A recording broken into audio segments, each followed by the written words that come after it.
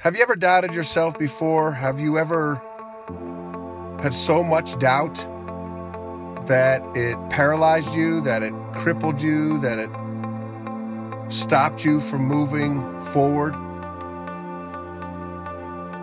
Have you ever had that kind of experience where you had all these dreams, you had hopes, you had aspirations,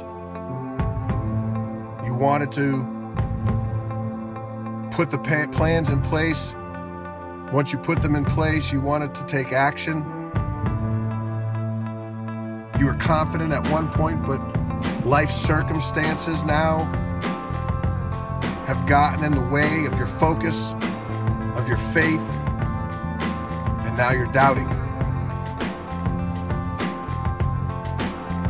The storms of life have reached the sunny shores of our minds. They have brought with it low hanging dark clouds full of thunder and lightning.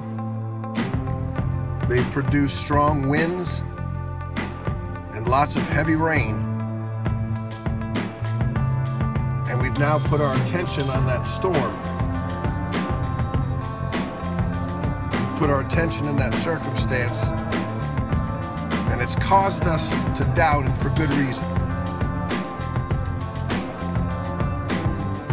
But here's what I've learned I've learned that doubt can be a catalyst to faith.